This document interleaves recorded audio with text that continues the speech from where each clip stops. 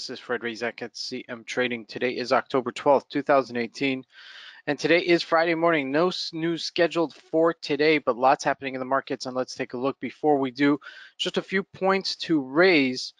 Number one, have we hit a soft landing for the Dow Jones and other indices? We'll take a look at that. And gold and euro finally rally and number three, I'll do a little bit of a synopsis of why we sold off so much this week and what can we expect moving forward into next week. Okay, so a few questions to answer here, but let's take a look at the market, see what's been happening. So we're looking at a one hour chart in the Euro USD and we finally got that rally we were looking for and you know playing a little bit of catch up to the GBP and the Aussie US dollar. We're above 116 here. Uh, nice little rally that we've continued, a nice little um, trend on the upside, okay? Uh, the It looks like it's exasperating itself at these levels, okay? So just be aware of that, that there is a little bit of a resistance here at 116.12-ish level. So just be aware of that, okay? Now, GBP USD not doing as well. Okay, rallying, but stopping that rally here at this area of 132. Okay, so we may see a sell-off here, okay, in response to this nice rally that we've had until now. Aussie USD as well has a double top right there, okay? So that would actually look like a decent place to actually short it, okay? Um, in anticipation there'll be a correction on the downside. Now, finally, gold did rally. We're taking a look at that. Look at that nice spike yesterday. This is more on fear concerns. Um, the market rallied this week for several reasons. So we'll answer both questions right now.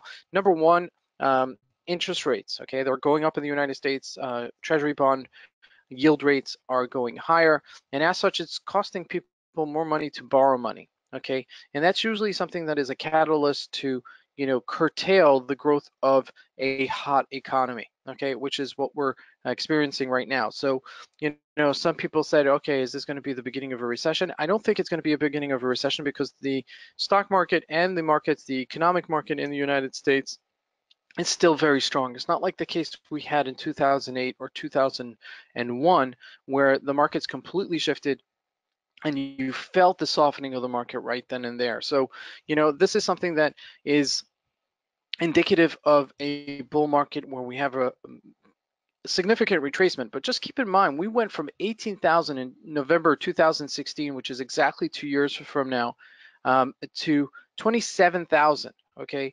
That's over 9,000 points in the Dow Jones. The Dow Jones has not gone 9,000 point in its history in such a short period of time. Okay, so the fact that we've retraced about 2,000 points, it's normal. Okay, people taking their uh, profits, booking some of their profits, you know, especially fund managers, and everything gets exasperated uh, because we're trading. Most of us are trading on algos, mutual funds, etc you know, once there's a little bit of a sell-off, you know, we didn't start selling off a thousand points. We started selling off 400 points, and then it just, you know, snowballed from there. So that snowball effect is very indicative of today's type of trading because most of the systems are software that is trading the system. So, you know, with those two elements, you know, with the markets kind of being curtailed by the Fed and the fact that, you know, a lot of algo uh, type of trading systems are actually trading the markets kind of aggravates the situation. So those are the two aspects by it. Now jumping into the Dow Jones,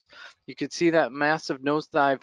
Now, you know, another two things that I want to point out is that we are in the fall of the year. Okay, between September and November is usually the biggest sell-off months of history in the Dow Jones. If we look at even going back to 1982, okay, Black Monday, going back to 2001 and especially 2008 okay those were the major sell-offs of the market okay so in my lifetime those were the three major experiences that we saw and we've seen it once again in October okay so we've sold off this sharply what's going to happen next okay what is going to happen next what I do anticipate is that you know we're going to hold this level at 25,000. Okay, we're trading around right now 25,407. I do expect a bounce. Okay, it might not happen today, It might not happen, you know, on Monday, but I do expect a bounce. Okay, um, in fact, um, one of the aspects that I think we're going to do is we're going to hold this area 25,000. Okay, in case we don't, we still have several support levels at 24,900-ish level, 24,670-ish level. So we do have several supports. Now, I do think that we'll be trading within a tighter range, okay, for a little while until we see the markets kind of settle, okay, and some of the stocks actually uh, give us corporate earnings a little bit more positive. Okay, so that's going to happen between November and, and December, I believe. But for right now, I do think that we may have this nice little bounce. Now we've bounced already 400 points. Okay, so we're really essentially just a thousand points down for almost our regular all-time highs of the year. Okay, uh, so with that said, okay, um, our next real resistance level is 25,795. Let's see if we do get to that level, okay?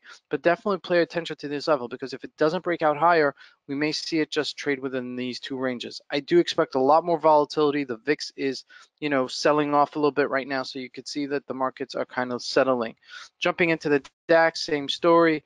We're trading here at 11,486 on a weekly calendar, but you could see that we've bounced off of it okay now jumping into the nasdaq still very strong okay strong in terms of you know we're at we we pretty much touch a a baseline here at 69.53 selling off a thousand points now the nasdaq did sell off much more sharply than the Dow Jones relative to its size. So with that said, that's something to consider as we go into today. Now, Amazon's the real one to look at. 1720 sold off all the way to 1680. Okay, that's over a $1,200 move on the downside. Okay, you want to talk about a bad day for you?